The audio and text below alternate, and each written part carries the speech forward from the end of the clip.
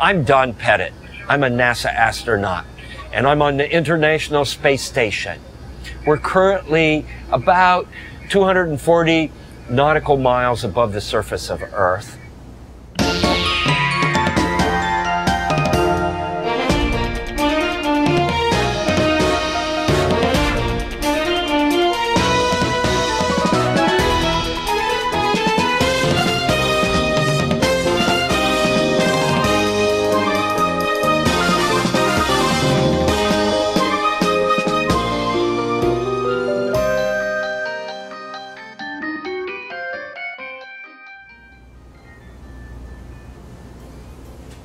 I want to do some physics demonstrations that involve some of the things you might see in the Angry Birds game.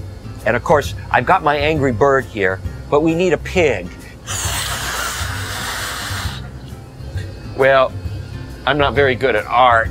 It's a good thing I decided to be a scientist and an engineer instead of an artist, because I'd, I'd probably be starving by now. Okay, here, here is Pig. And of course, Pig is the arch enemy of Angry Bird. And Angry Bird had some eggs.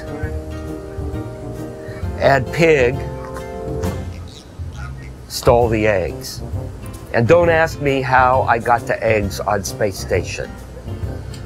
I've got a bungee spread across the hatchway. And this bungee is kind of like a slingshot. And I'm going to show the trajectory that Redbird is going to have when I fire him with this orbital slingshot. Launching Redbird into space. Well, hey, we're already into space.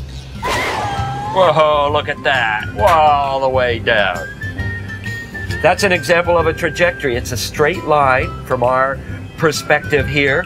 Gravity will attract an object if it's moving in a straight line, and it will no longer move in a straight line. It gets bent and it goes in a curved trajectory. And guess what? Astronauts have to worry about these things because if you're in a rocket and say you're trying to get from one orbit and rendezvous a space station, you end up going in curved trajectories and you need to know how to fire your rocket engines so that you can go from where you are to where you want to be. And if you understand the math, if you understand the physics, it will allow you to go out and get a neat job, a job sort of like mine. And we got to see all of this in a weightless environment, which is what the Angry Bird space game is going to be like with gravity fields from planetary bodies.